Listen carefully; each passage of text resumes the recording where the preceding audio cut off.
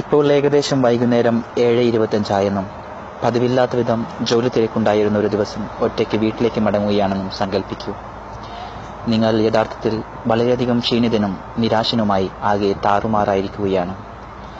പെട്ടെന്ന് ഒരു കലശലായ വേദന നെഞ്ചിൽ നിന്ന് കൈകളിൽ പടർന്നു താടി വരയെത്തുന്നതായി അനുഭവപ്പെടുകയും ചെയ്യുന്നു. തൊട്ടടുത്തുള്ള ആശുപത്രിയിലേക്ക് ഏകദേശം ഇനിയും അഞ്ച് കിലോമീറ്റർ ദൂരമുണ്ട്.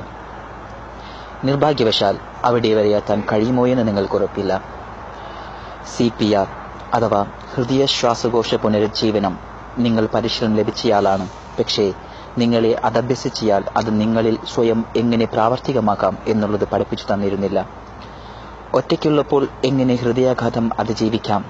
കാരണം ഹൃദയാഘാതമുണ്ടാകുമ്പോൾ പലരും പരസഹായം ലഭിക്കാൻ സാധ്യതയില്ലാത്ത വിധം ഒറ്റയ്ക്കായിരിക്കും. അസാധാരണമായി മിടിക്കുന്ന ഹൃദയവും ക്ഷയിച്ചുകൊണ്ടിരിക്കുന്ന ബോധത്തിനുമിടയിൽ പുനരുജ്ജീവനത്തിന് ഏകദേശം പത്ത് സെക്കൻഡ് കിട്ടാനേ സാധ്യതയുള്ളൂ.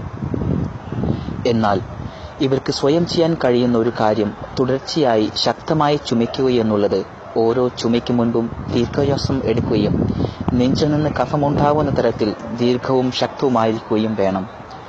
ശ്വസനവും ചുമയും രണ്ട് സെക്കൻഡ് ഇടവിട്ട് മുടങ്ങാതെ പരസഹായം ലഭിക്കുന്നതുവരെയോ ഹൃദയം സാധാരണ നിലയിൽ മിടിക്കുന്നത് എന്ന് തോന്നുന്നത് തോന്നുന്നതുവരെയോ മുടക്കമില്ലാതെ തുടരേണ്ടതാണ്. ദീർഘശ്വസനം ശ്വാസകോശത്തിലേക്ക് ഓക്സിജൻ പ്രവഹിക്കുകയും ചുമ മൂലം ഹൃദയം അമരുകയും അതുവഴി രക്തചംക്രമണം നിലനിർത്തുകയും ചെയ്യുന്നു. ഹൃദയത്തിലെ ഈ സമ്മർദ്ദം അതിനെ പൂർവസ്ഥിതി കൈവരിക്കാൻ സഹായിക്കും. ഇപ്രകാരം ഹൃദയാഘാത രോഗികൾ ബോധം നഷ്ടമാകാതെ ആശുപത്രിയിൽ എത്തിച്ചേരാൻ കഴിയും. നിങ്ങളാൽ കഴിയുന്നവരോടൊക്കെ ഇതേക്കുറിച്ച് പറയുക. അത് പലരുടെയും ജീവൻ രക്ഷിക്കാൻ ഇടയാക്കും. ഒരു ഹൃദ്രോഗ വിദഗ്ധൻ പറഞ്ഞതെന്തെന്നാൽ ഈ മെയിൽ കിട്ടുന്ന എല്ലാവരും അത് പത്ത് പേർക്ക് ഫോർവേഡ് ചെയ്യുകയാണെങ്കിൽ ഉറപ്പാണ് നമുക്കൊരു ജീവനെങ്കിലും രക്ഷിക്കാൻ കഴിയുമെന്നുള്ളത്. ഫലിതങ്ങൾ അയക്കുന്നതിനേക്കാൾ ദയവ് ചെയ്ത് ഇത് അയച്ച് ഒരു വിലപ്പെട്ട ജീവൻ രക്ഷിക്കുക.